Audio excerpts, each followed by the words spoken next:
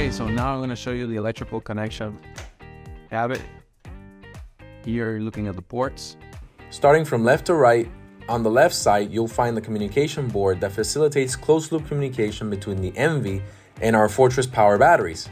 This board also allows for easy plug and play integration with our eFlex and EvoMax products and enables the connection of current transformer CTs, which are included with the package. The CTs have a length of 15 feet but can be extended up to 300 feet using a female to female 8 pin Ethernet adapter. Moving on, we have the paralleling ports which come in handy when installing multiple inverters, as well as a USB port that allows for easy updates of the inverter's LCD screen for added functionalities in the future. If the inverter is connected to the internet, updates can be done remotely.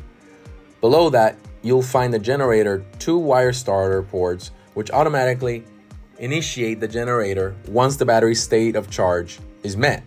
On the right hand side, you'll find the battery breakers, which are rated both for 200 amps and allow for the connection of two EvoMax batteries without the need of a battery combining bus bar.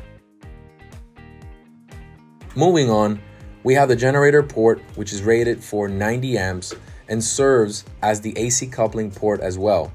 The cable gauge you'd use could range anywhere from number 4 to number 2, assuming utilization of the 21 kW through the port.